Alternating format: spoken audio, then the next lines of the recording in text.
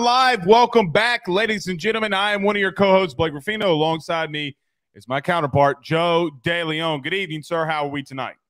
Uh, I'm doing great. I'm, I'm a little bit riled up though, Blake. I'm a little riled up reading through this this pe- this this weird essay that was produced by the AAC commissioner. And I know that we're going to get to that at the end of the show, but I'm a little little riled up after reading this. I read all 2,857 words today. I'm sorry you wasted your time doing that, by the way. Well, well, listen. Early in my career, mm-hmm. okay, I called out. I forget who it was at the time. I, I think the eh, Pac-12 or Big 12 commissioner, and I read like the first two paragraphs, and I made an assumption, okay, and I wind up being wrong.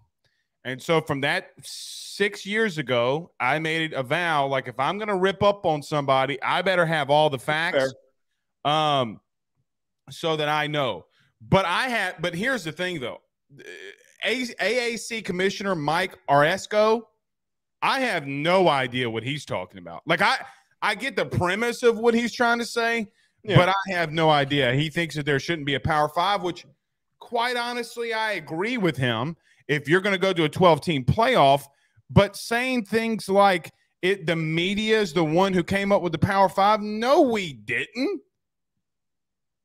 Right. But there's a lot of other issues too with the whole premise. They I don't disagree in what you're talking about and I, I again I know that we're going to get to at the end of the show, but to have that thought of to separate the conferences in the way that it's been separated maybe the argument could be made. But at the same time, there's better better football teams and there's worse football teams.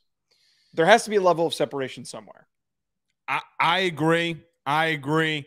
And well, but now, Joe, there kind of isn't, right? Because the highest group of five, you know, G5 team will get into this playoff and they're gonna they're really gonna get their rear ends torn up. No pause. Absolutely. I'm Absolutely. talking about I, am talking about they're going to get beat down. I mean, look, I, I know I joke about this all the time, but I'm not joking when I say this.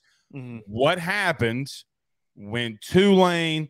What? But by the way, did did I mention Tulane's getting a little some looks to move up? To move up. Where ACC? Pac-12. What? Yeah, Pac-12. So they, and again, this is all funnels into the same talking point, though. Is you can't even keep your same teams in your conference and you're complaining about phrasing? Yeah. And so I'm going to throw a little bit of a wrench into what he's saying. I think that, yeah, basically what he's trying to say is teams are trying to pluck teams out of our conference. Well, they're going to. But nevertheless, I, I do believe that there are some things that he says, oh, mm-hmm. That aren't wrong. But when we talk about the Power Five and G5, the G5 team getting in, I know, I mean, look what Georgia did to TCU. Do you think it gets any easier when Georgia is playing Rudy Poo State? I, I mean, Joe, Tulane's going to get their app. Look, Tulane beats USC. Do you not believe that USC gets dominated by Georgia? They absolutely Come do. Come they on, absolutely man. do. The bigger fish eats slightly smaller fish, which eats even smaller fish. There is a chain to the level of competition and success. So go ahead, complain about the wording. I just think it's it's this is a nothing essay. This does nothing for me that I have pulled up in front of me and then I have spent time reading parts of it. I just this doesn't solve any problems. It's just bemoaning that you're not considered good enough to be in the top conversation, which you've never been close to being in that conversation. Agreed. We'll also mention at the top of the show, we'll talk about our top five running backs in the and the and all of college football. We have a lot of the same guys again. Yep. Uh, one we don't, which I think is absolutely ridiculous that you left a guy out, but nevertheless, we'll, we'll talk. I, I, am the opposite here. I, I think that you leaving off the guy that I included is is pretty ridiculous, but we'll get to it. Can he ever go through a season healthy? Oh, that's this right. He's never done it.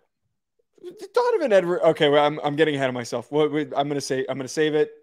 I'm going to save it. Okay, sounds good. All right. Also, we'll talk about Georgia getting the invite to the White House and them declining. Yep. Such pettiness by both sides, to be honest with you.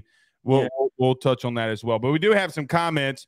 Uh, Roger says, Blake, did you see what I mentioned to you on in on Twitter? I did not. Re-tag me because I did not see it. Uh, Colin says, Did I rile Joe up today? No, uh, Colin did not. Liberty fans did rile me up a little bit, which is of all fan bases. Liberty fans, they have fans.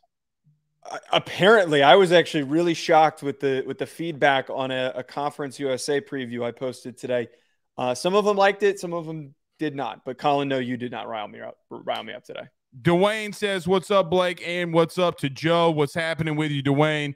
Um, and Ryan, big Cajonas Kelly, which I said something to Joe before with the show, which we're we're not going to mention right now. No. Uh, but he's but he says ge- geographically and logistically, it's crazy. Not any more crazier than teams in South Carolina, uh, South Cal- Southern California going to play in Ohio in December. It's not. Um. Yes and no, because having Oregon go all the way to Louisiana. I don't know what the geographic mileage difference is between those two trips, but I would argue that's a little, just a little bit crazier, not significantly. You're already on the plane anyway. What's an extra hour? it's a good point. I, I, mean, I'm just being honest. I mean, but getting equipment there and things like that, that that is obviously a very right. big deal. So let's get let's get this thing started. Let's get this thing rolling. Everybody, do us a favor by hitting the like and share, share to all of those social media groups. If you're listening to us on Facebook, all of those social media groups, LSU, Notre Dame, SEC, Big Ten, share to them all because we're going to talk about them all here tonight. At least a player in all of those major conferences. If you're listening to us on YouTube, like, subscribe, notification bell, wherever you listen to podcasts, rate and review and subscribe as well. All right, let's talk about our good friends over at betonline.ag. We're back very soon. We're going to talk about some Georgia pettiness on all sides. Mm. Talk about our top top running backs in the league when we return. BetOnline is the fastest and easiest way for you to wager on all of your favorite sports, contests, events with the first to market odds and lines. Find reviews for all the news for each league, including Major League Baseball, NFL, NBA, NHL, combat sports, college sports, esports, and even golf. BetOnline continues to be the top online resource for all of your sports information for live in-game betting, props, and futures. Head on over to BetOnline today and use your mobile device to join and make your first sports bet. Use our promo code BLEAV50. that's BLEAV50, B L E A V 50 to receive your 50% off welcome bonus on your first deposit. That's betonline.ag, betonline.ag. We're back. Unlike no, they're not. University, which, by the way, did you see that Urban Meyer said? Yeah, I'm surprised we didn't react to that. I'm surprised that we. Well, didn't. let's really quickly let's react to it now, in case you missed it, and you can mm. clip this if you want because this is ridiculous. Urban Meyer came out and said that he believes that the University of Texas could have the best overall roster in the country. Where? There's holes on their defensive line. There's holes at linebacker in the secondary, at running back now that that Bijan's gone. I, I don't see where offensive line and receiver, yes, sure. No. Eh, there are multiple SEC teams that we can sit here, and I, I don't want to waste your time rattling them off, but there are multiple in one conference alone that are significantly more well-rounded than Texas. Or I don't know what Urban's looking at. Clearly, he didn't even look at the roster and he just made a blanket statement. Well, he knows what he's doing because it gets a lot of the fan base around Texas. And yeah. let me tell you what I let me tell you what I think too. Urban's very calculated human being. If he ever wanted to come back and Sarkisian failed, Texas, oh, Texas call. Texas could be a place that he can enter. But let me just say this about Urban. What are you talking about, bud? Like what what are you? Where? Ne- where? Now I, what maybe what he's doing is looking at recruiting rankings. I, I don't know. But here's the bottom line. I'm pretty sure I can name 20 starting quarterbacks in college football better than Quinn Ewers. I, I will agree with that statement. I, I had to think on it. I will agree with that statement. But yes, buddy, uh, Joe, if they if they were in the SEC this year instead of next year, they would be lucky to go seven and five, eight and four. Yeah, and again, that's my whole point here is that they're they've got the best roster maybe in the Big Twelve. Is that what he meant to say? And he got ahead of himself and he well he here's, an here's an interesting part about that though. He might not be wrong because there, like our friends over at Bet Online, DraftKings, wherever you place your bets, you know that you need to be placing them. By the way, at Bet Online. But what's interesting, what's interesting though, Joe, when you do look at this over under win total, they are at 10 and a half. Them and Oklahoma are at 10 and a half. So how many times have we done this? How many times have we given Texas a 10 and a half point or 10 and a half game over under. Like I feel like we do this every year. Well, I we have do- not get I have not given them anything. I'm just I am Right. just simply saying that th- th- they have it. You know, whether it's right or wrong, it's still there. Now I would pick the under, but you know what else? I also don't think t- I also don't think Oklahoma should be at 10 and a half or wherever No. they were. So No. we'll see. Urban Meyer, don't be a Rudy Poo. You were doing fine at Ohio State. And when you were at bars, putting your thumb up people's buttholes. That's all. That's all, I want to say. all right. Very quickly in reacting to this, massive news coming out of Georgia. Georgia's not going to the White House for the visit. They have not been, I might add. They have not been Mhm. to a White House um what I guess ceremony or whatever you want to want to call it Recognition. recognition yeah i mean they get everybody knows what this is you give the president a uh, a jersey with his the presidential number on it yeah i think what is he 40 the 46th president Yeah.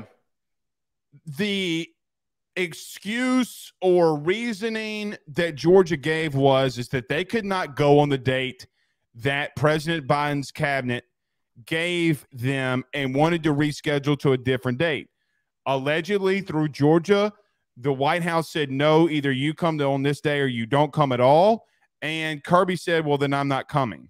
Then we're not going. I, I don't want to make this any more political than what it already is going to be. Be, Mhm. but I, I, I don't really care either way. It's a tradition, yes. Have teams not gone before? Yes. I, I it doesn't bother me anyway. Either way. I think it's definitely pettiness on both sides. Agreed. I, I lean in favor of Georgia because, like, to invite these guys out this late in May, and I don't know, admittedly, the timeline for how quickly you're supposed to get a championship team out to the just- White House. just for an example, just for an example, okay? Like, when did LSU go? Well, LSU was the last team that went. They went in they went in late January.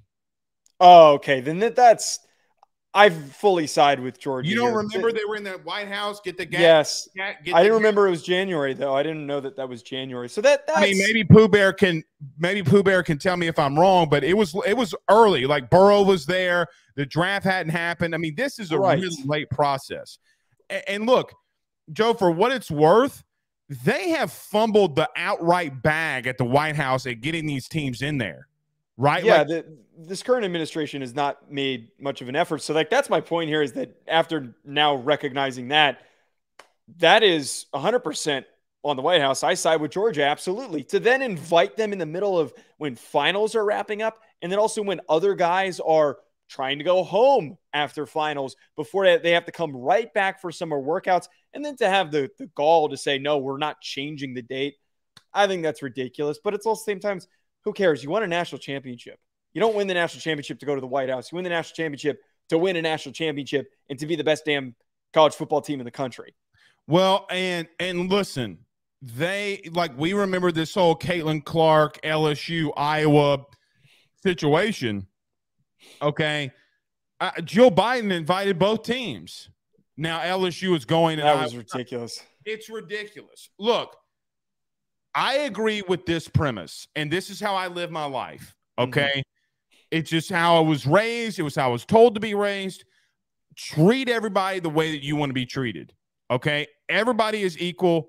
That's what the the thing that I believe the most, and the religion or the God that I believe in tells me that everyone is created equal. Okay. Not everybody's created equal in all things, though. Sports is one of them. If you beat somebody, you have that right and privilege if you're going to get invited. They just this ha- this this and look, it, it's not like uh, presidents haven't done it before. I mean, for crying out loud, Trump gave people McDonald's.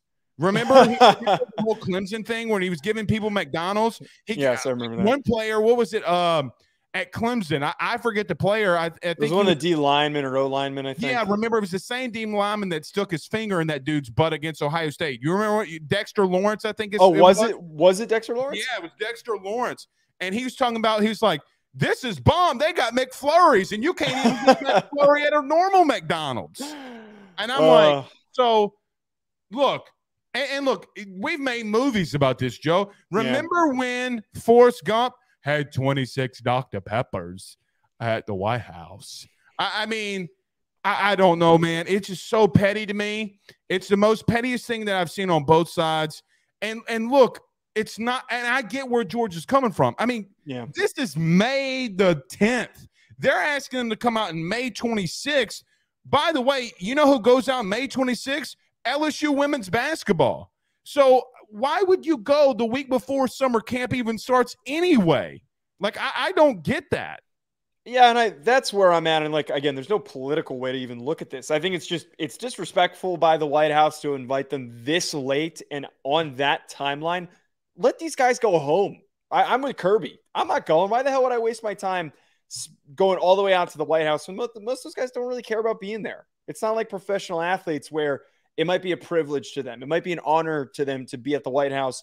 And some people even use that as an opportunity. But oh, you kidding me? A 19 year old, you just want to go sit at home with your boys before you have to come back for for summer conditioning. I, I wouldn't want to go to the White House. It's a waste of time. Well, let me just tell you this: I would. I don't care who oh. the president is. I look, just being real. I don't care if it's Clinton, Bush, Obama, Trump, Biden.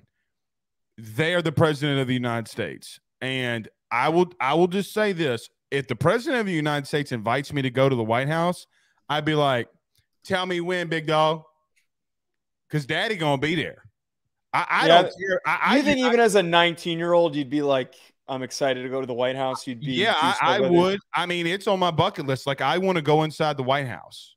Like I, I want to, you know, like it, Joe. I mean, we live in a country where that is the highest office in the in the land, right? right. Like regardless of what you were politics are, presidents sit there. Like your right. leader sits there. So, all right, we spent too much time on it. All right, you want to get to this running back? This running Hell back? yes. Okay, Hell let's yes. go. You want to go first? You want to you want to you want to say your top five first? What do you want to do here? Yeah, let me let me pull mine out first. We'll we'll we'll, up pull, the order. Don't pull yours out first. It's not a it's not a measuring contest. Pause.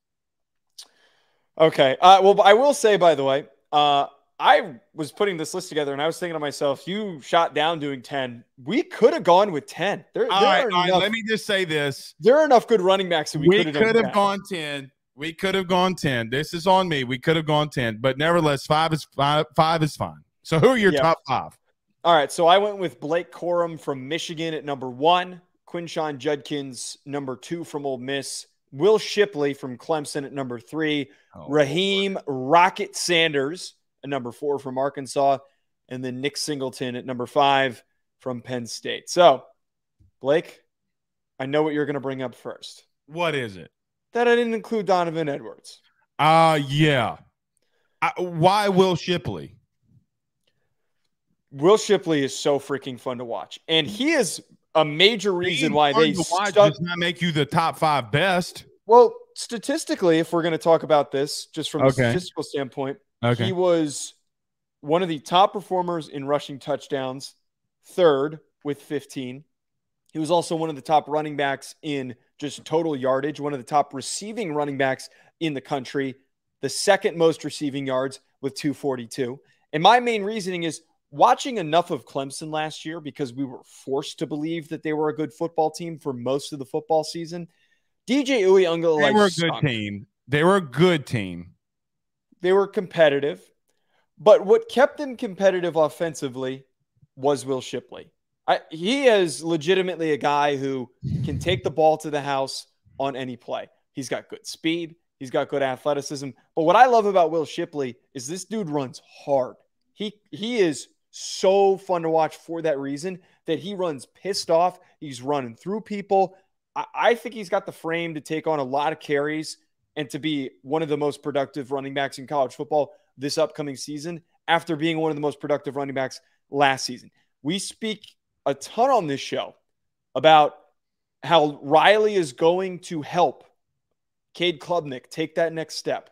Let's also look what he did with Kendre Miller last year, who was a was an okay average running back, who was one of the best Fair running backs statistically in Fair the country. point. I think Fair Shipley point. takes that next step.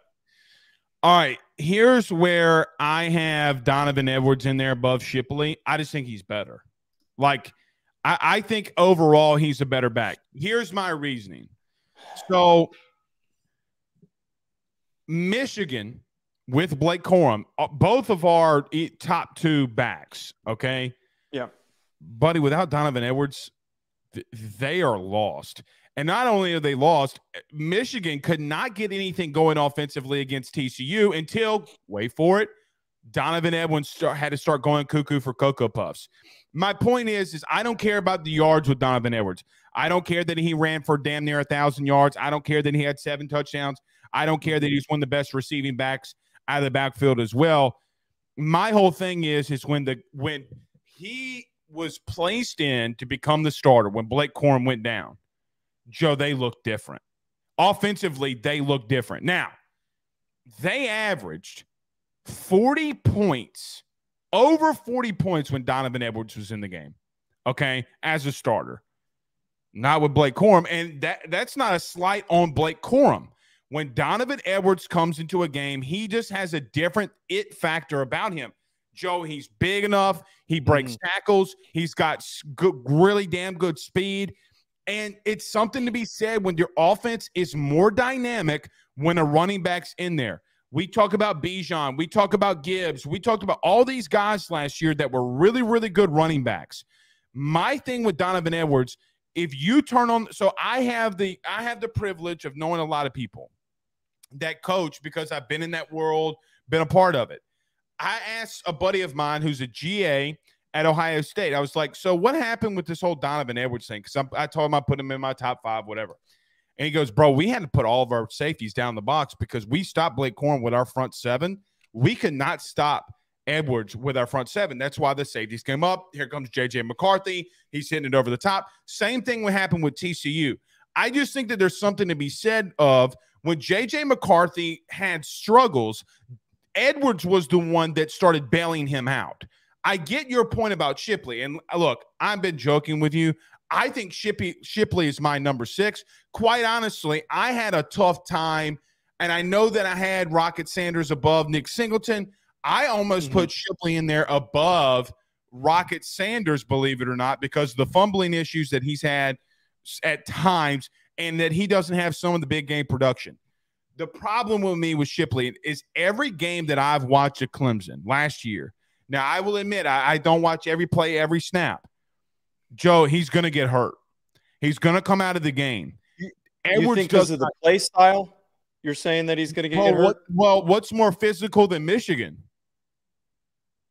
If you're going to say, Well, I'm talking about I'm talking about I'm talking about Shipley though. and You're saying that Well, Shipley. I, I, I get that, but what about? I mean, Edward, Joe, they're going 12 personnel underneath the, you know, under center, and they're running 34 dive. It's not as if Hmm. that it's any easier on Corum or Edwards or Sanders or any of them. And I get backs, you- you know, it, it's tough. Shipley's a great athlete, best overall running back. Okay, maybe he shows that this year with a new offensive philosophy. And, and look, uh, Riley might make him look, and he he could be the first back off the board because of Riley. And we've seen him do a lot of the Riley brothers do a lot of good things with running backs. Name a dynamic back that they've had. right, They've they had haven't. A lot of guys that aren't crazy athletes. Well, that they've turned into very productive players. They've had productive players. They haven't had a guy like Shipley. I just want to see it. The two games that I remember watching, he fumbled, I think, against South Carolina. I mean, he got mm-hmm. rocked against South Carolina. And quite honestly, the two teams that they played that probably the best teams, he crumbled. Like, dude, he crumbled. Donovan Edwards, when he came in against the toughest three game stretch of their uh, of their year, he didn't. He performed. Joe, he had 500 yards in those three games. I still, though, we need to acknowledge one of the biggest factors for running back success is offensive line play. And if we're all being honest here with with these lists that we've put together, the best offensive line offensive here line is Michigan, maybe Penn State. I don't disagree with that, but I think that that Edwards' success is it's worth acknowledging. You know, it's significant. His impact later on in the season was significant. But he's also one of those guys where if you remove some long rushing touchdowns from his production, I believe his his yards per carry gets pretty low. He's okay. not a guy Stop that right. has a consistent production. Because that right Ohio there. State game is a good example of that. Stop right there. Do you okay. want to? Can I tell you one of the biggest pet peeves of mine for running backs? Is when people reference yards per carry. No, when people do what you just said and said, "Well, if you take away their long runs, you can't do that. You cannot do that." You can do that when a guy has limited production and hasn't played and gotten no, as many touches as the rest of the guys can't. on the list. Let me, let me tell you why you can't. You ready? Okay. Go pop in any any Adrian Peterson highlight film. Okay. Any one of them. He was horrendous at times, and then he'd pop off a long one. You can't take not- away from him. You cannot take away from Donovan Edwards. Joe, the, the, Joe, I, I, went on Pro Football Focus today and looked at this. Mm-hmm. Do you know how many players were in the box when Donovan Edwards was in the game against Michigan? I mean, against Ohio State? Eight. Damn near. And they could not stop him. I get that. And I think that Donovan Edwards is a good running back. But here's the other aspect to this, too. Why didn't he beat out Blake Corum?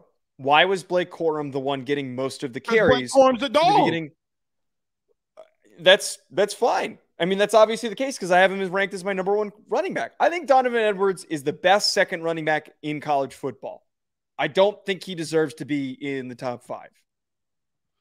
I think there's a lot of context to his success. Okay.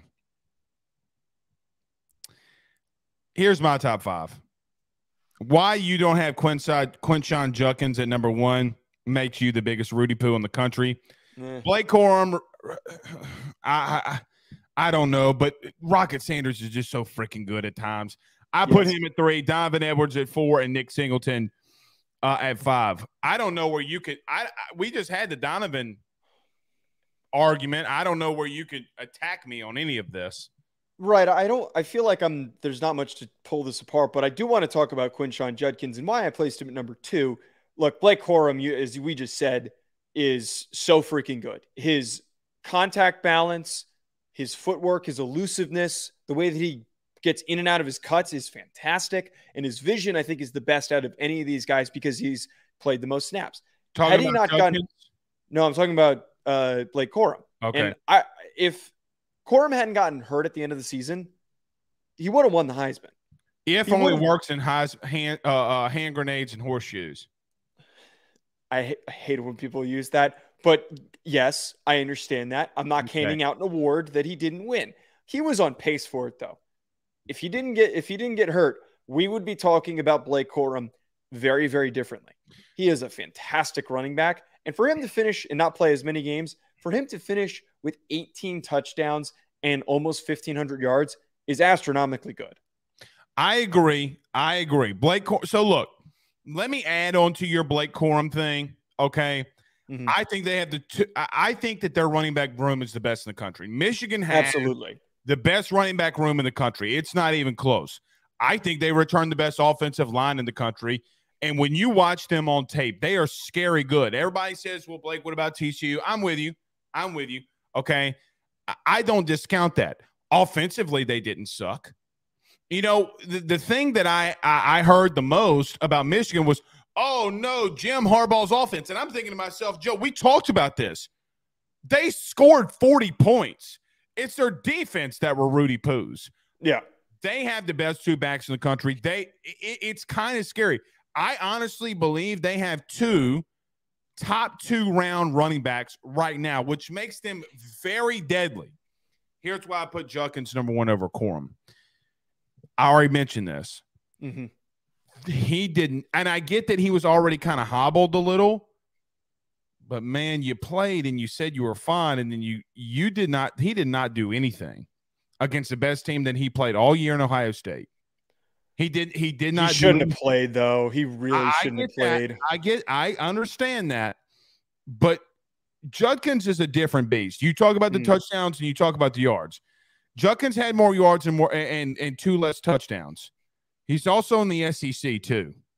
Okay, Quinshon Judkins to me is a more physical. Maybe Gibbs. I don't know if he's as fast, but they have the no. same kind of they have the same running style. The way that they stop on a dime and can cut, the way that Judkins can catch the ball out of the backfield is elite. It's not good. You, by the way, did you ever hear the recruiting story with Lane Kiffin and Quinshon Judkins? No, I know he was a three star. I know that he was very, oh, very under recruited. Very under recruited from a small town. So this guy was at a practice, uh, a Judkins high school football practice, raining. I'm talking about pouring down rain. He sees a guy in the stands. He's like, What is this guy doing? Why is this? What is this guy doing sitting in the stands? Who is that Rudy Poo? Mm-hmm. It was Lane Kiffin.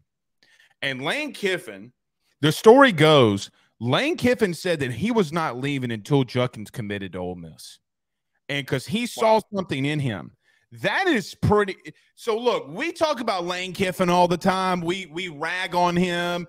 We talk about his frosted flake, uh, frosted flake haircut, and he gets it dyed and stuff like that. And I'm with you. That's elite. To pull a three star out of nowhere is is ridiculous. I just think because Judkins did it in the SEC against, and look, you've said this before. You've said this before. You saw their offensive line and some of their offensive linemen in person, and you thought that they were pretty bad. Yes. So yes. specifically that, Breaker. Okay. So with that being said, what? Hi. All right, you got a scooter. Bye bye.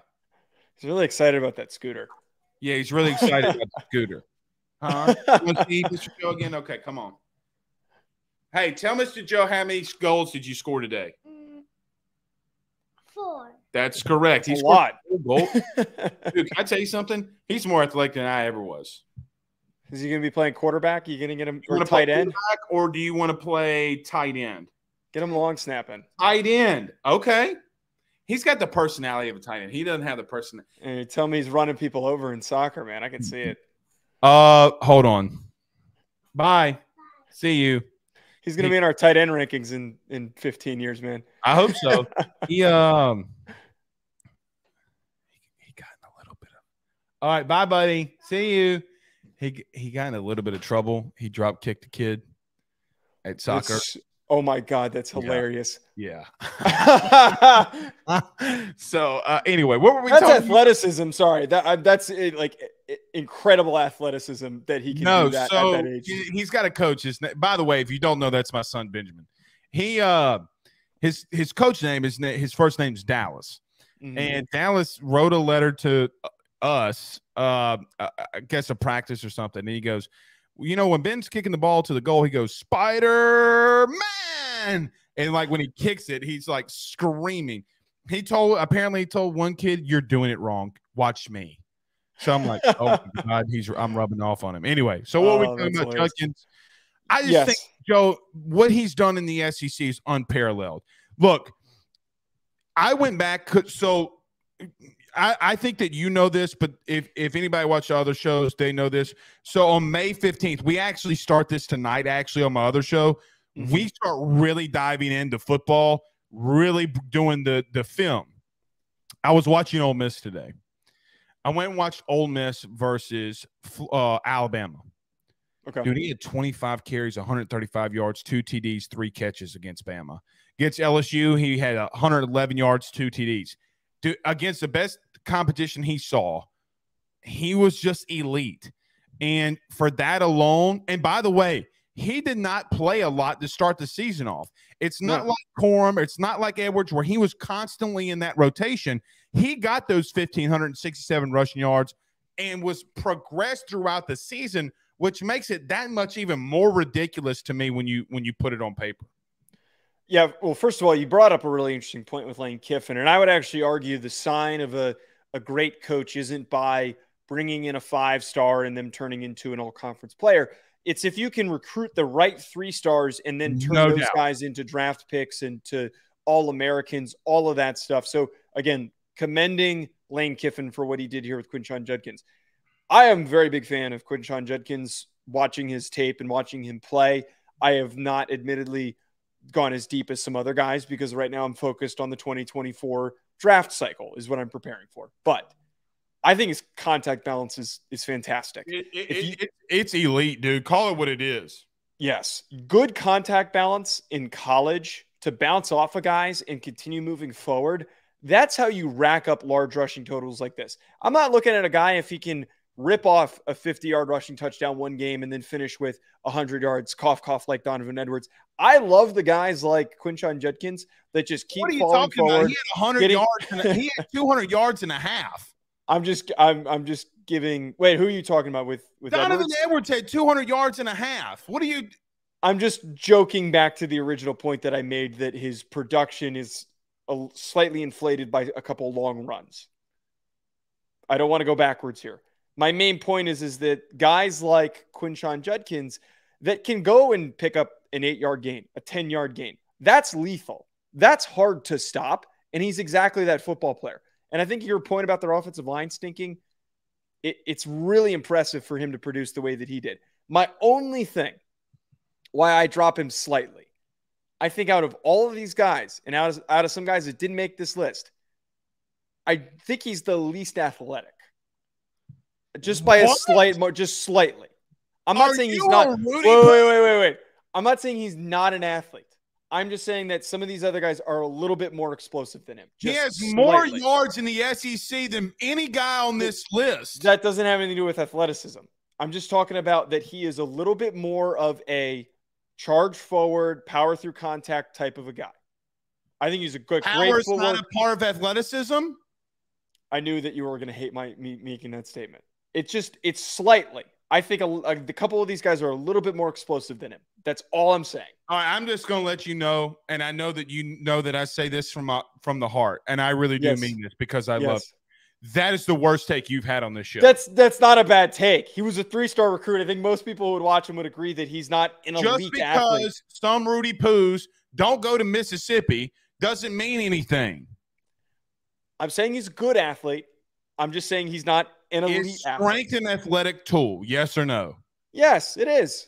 Okay. Well, he makes Blake Corum look like cottage cheese. Okay. I know we're not going to agree on this. My only point is that he's just not an elite athlete. He is a great athlete. He's one of the best athletes at the position in college football, but he's not in that elite category.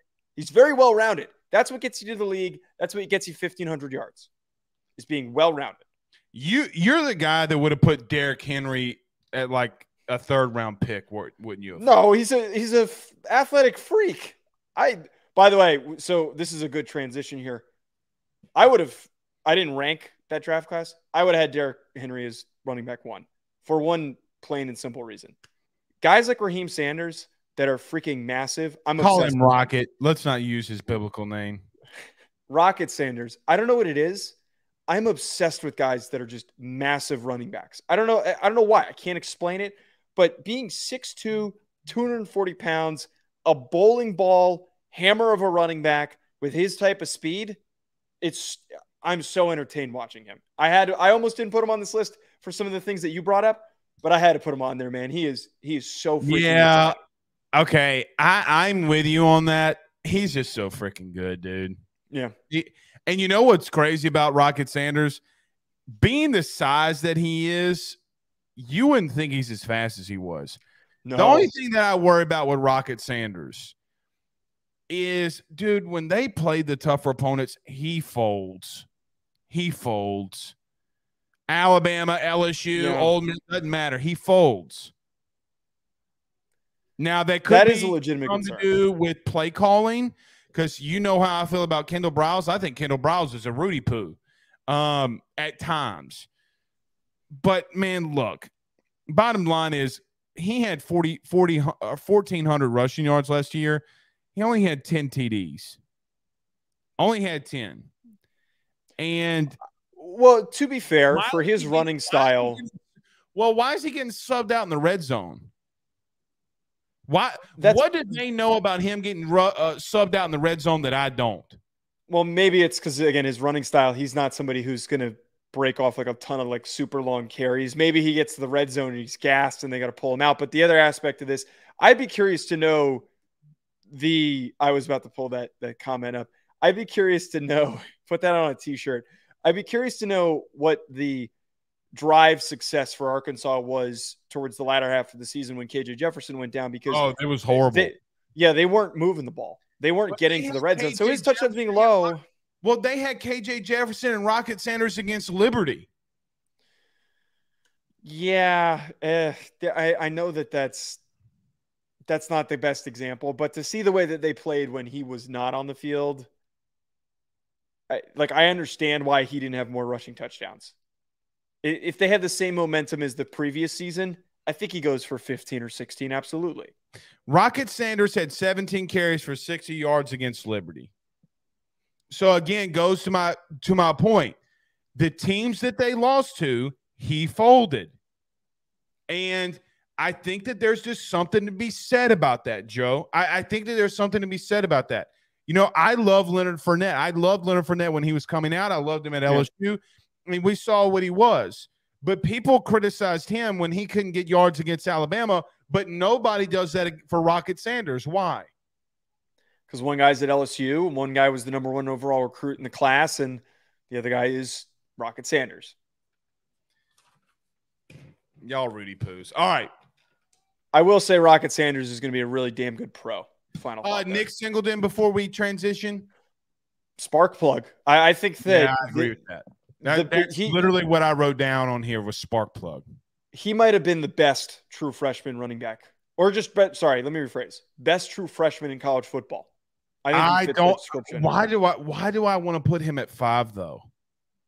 You know, On the for running me, back list? so I- well, I feel like Nick Singleton is the guy that I could put anywhere on this list, and you can't debate it. No, I think he fits at five for the reasoning of him having the less the less exciting stat line. Only a thousand yards, twelve touchdowns. He also didn't get as many carries as I think a lot of people would have hoped for. That's right. Splitting time. Well, he's going to get a lot of carries now with a with a young quarterback. Yes. And I think they have the offensive line to do it. But you said best freshman in all of the country. Harold Perkins says hello. Okay, that's a good point. I'd say they're close. I would say they're close. not not even remotely close. Come on. You think that there's that much If separation between Harold draft, Perkins if and the Nick draft Singleton? happened today and you had to pick Harold Perkins or Nick Singleton, where are you That's irre- that's irrelevant because I'm not picking a running back over an edge rusher. well, he's not an edge rusher now. If you'd be listening to my show, you would know that he's moved to the inside and on third downs. He's going to be on the outside. If we removed positional value, I would say that they're not that far off. I would say Harold Perkins is higher. You, you see, here's the thing with you. You like to say, well, if you just pull this away, if you I'm, pull, pro- I'm producing an pull- argument. If you pull this massive thing away, Oh, Wait, no, no, no, no. Positional value. Yes, positional value is massive, but like if we're just talking purely two football players, who was better? I think that Harold Perkins is, but they're not that far off. That's not an egregious statement. all right, it's pretty egregious. All right, let's transition to this though. Um, AAC Commissioner Mike Aresco came out with a pretty long article and letter to college football. I don't know if you guys saw this, but we'll we'll paraphrase for you. He came out and wrote one of the stupidest things I've ever heard. It's literally this one of the more stupid things I've ever heard a commissioner say. In his letter or rant or whatever you want to call it, he said that he wants the elimination of the Power Five label. It was the media that did it. No, the media didn't do it. It was literally the uh, predes- the whole reasoning of why the playoffs started is you talking about Power Five opponents. If you win your league, a Power Five opponent, you could get into one of the four spots. He said he wants to eliminate that. He also says that Power Five driven by the media when they don't know what they're talking about. That's interesting because we didn't come up with that. He says it's wrong for conferences. This is where he lost me in this mm-hmm. article. He says it's wrong for conferences that have and make more money than us for them to feel like they're superior to us. And then he would basically go on and say other AAC, uh, uh, other conferences beside the AAC, ACC, Big 12, SEC, Pac 12, and Big 12 all other conferences are pretty much Rudy Poo. Buddy, you're Rudy Poo too. So I don't even know why I need to be mentioning this guy. What what are you talking? What is he talking about here? That statement. This is a capitalistic environment. You are competing for being the best conference, the best football teams. And you just mentioned that the AAC makes less money has less talented players, has less talented football programs. I love watching the AAC. I'm going to sit here and say that. I played at an FCS football program. I appreciate the group of five.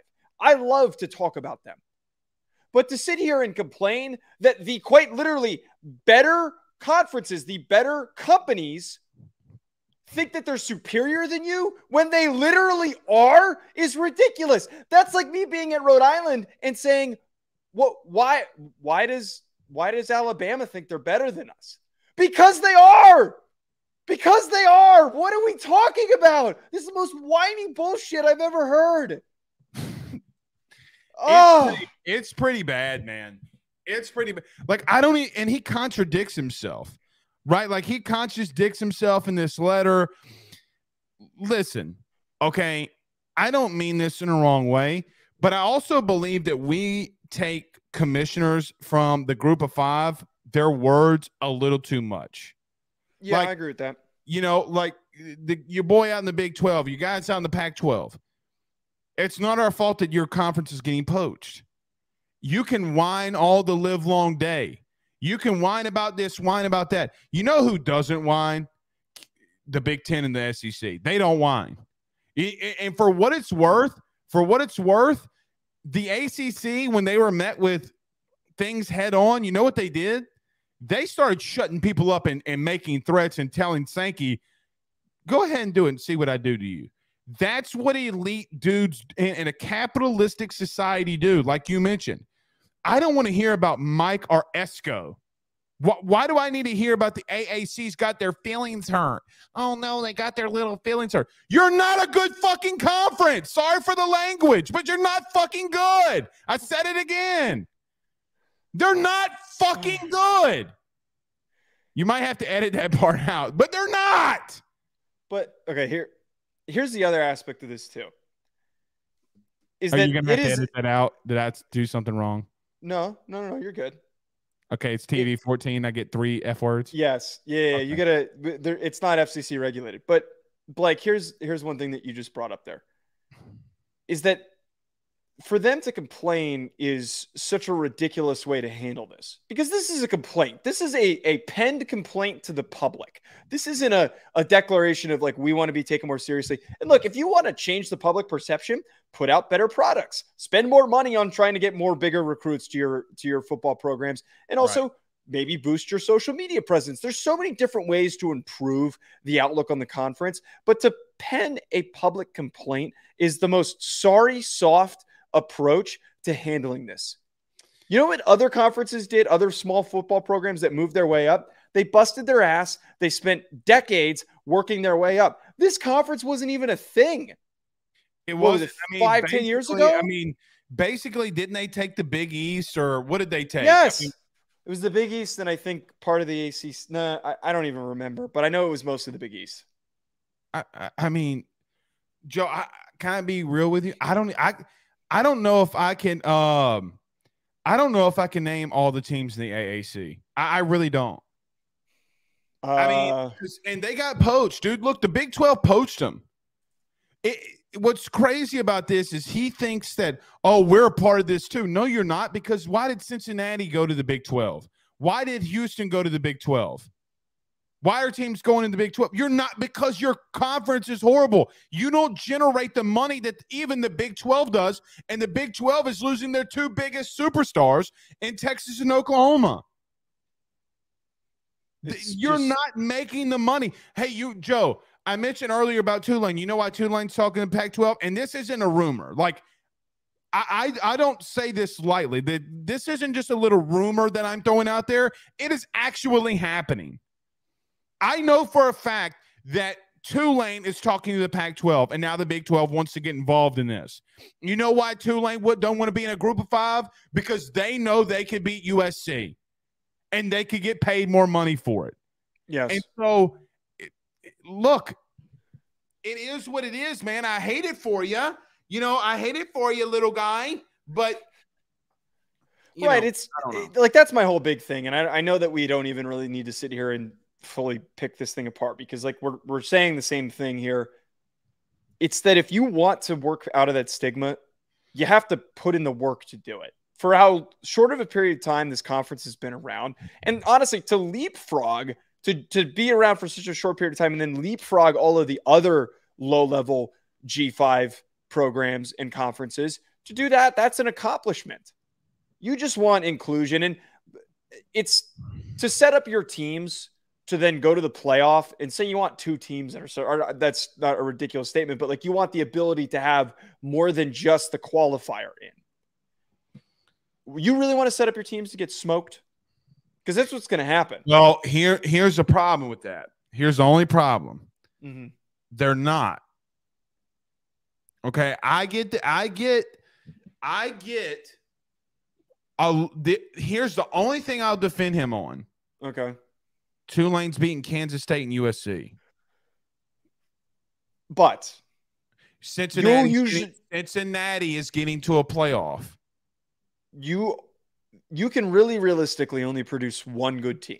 I The agree. second that. best team is going to have a significant gap. That's my kind of my whole point. Well, I, I don't mean this in a wrong way for about but for about a 10 year stretch, the only thing the Big Ten could do was produce one good team, and that was Ohio State. Uh yes, yes, but the the difference between how badly they'd get beat by an SEC team, uh, uh, the second best team in the Big Ten, is far different than what the second best team in the AAC would do I agree with showing up. I agree with that. I, I agree with you. All right, you let's wrap this up with this. Um, Jalen Carter situation, the car accident. Um, listen. So if you missed it today, the University of Georgia is getting sued um, because they had a staff member that was a part of the wreck. Joe, they're going to lose. Georgia's going to Oh, lose. absolutely. They're they're going to have to settle. They have a staff member that was driving players. They got they got in a high speed or, or they got into a, a race. She crashed. They died. Um, they're going to lose. And as someone as a as a person that has two children, look, man, I, I don't want to profit off of my. Ch- God bless it. Knock on wood. I don't even want to Mm. think about this. I don't want to profit off of my ch- uh, the loss of one of my children. I would want Georgia to pay though. I, I would want to make them pay. You have a staff member that was driving and my my child died. I want I would want to make them pay. That's just me. That's just me. I almost wouldn't even be surprised if they don't try to make an effort to settle the University. Well, I don't know why. I don't know why they why they're not trying to do that now. Like I, I don't even know why this had to get out in the public. Yeah. Um, maybe to make a statement, but I- I'm sure. I'm sure part of it too is like to that point that they do want to make a public statement about this. They it, it realistically, I mean, honestly, it shouldn't go uncovered. It's it's been a really significant issue that I almost feel hasn't gotten enough attention proper attention. Well, I mean, uh, it's gotten a lot of attention now. I mean, Jalen Carter, the whole Jalen Carter thing's gotten a lot of attention. But that's like, in a way, the wrong attention. We were focused on the draft prospect. That was the reason why that was under sort of so much of a microscope. I, I, I, I agree with you, but like I said before all this, and a lot, some people, and I got ripped on this a little bit. God bless it, but if the young, the the the lady that died, the lady that was driving and passed away, Joe, if she would have not passed away, she would have been charged with vehicle, yeah. vehicular manslaughter. Yeah. Okay. So, I, I, I mean, she's a Georgia staff member, and so it's this very sticky situation. And pe- and, and people, pe- when there's a death, people act in different ways. You know, like the Brandon Miller thing. Like people mm. were like, "Oh, he was at a, a, a crime scene of a death," and you know what? The only reason that people didn't say anything about Brandon Miller is because Brandon Miller's, thank God, still with us. But listen, there are just so many different avenues and ways that we can go upon this. Jalen Carter did not make her do what she did. She could have said no. She's old enough. She's a staff yeah. member, so stinks. I hate it, but I don't even want to think. I don't even want to remotely think about it. Let me tell you a story though. Uh, when we brought our children home, both of them, both of them. Oh, well, mm-hmm. not so much with Jewel the second time because I've done this before. Uh, but let me tell you this Dude, when we brought Ben home, I was driving like this. I was so scared. Oh, I bet. Oh, dude, I was so scared. Well, I, I went 60 on, on the interstate. I was just like, get over, get over, just pass me. I'd probably be taking back roads, man. I still can't even think about having kids. Back roads actually are where most of the deaths happen and traffic accidents. That's a good point. So, all right. Great show. What do we? I know we we might just in case, like even if we did Saturday, I think what Joe and I are going to do. We talked about this a little. We're going to start breaking down some teams. Joe, yeah. we are 20 days away from kids reporting back and starting spring, uh, starting summer football. Nuts. We're here. It's oh, so God. close. Thank God. My body is so ready. My body is so ready. Pause.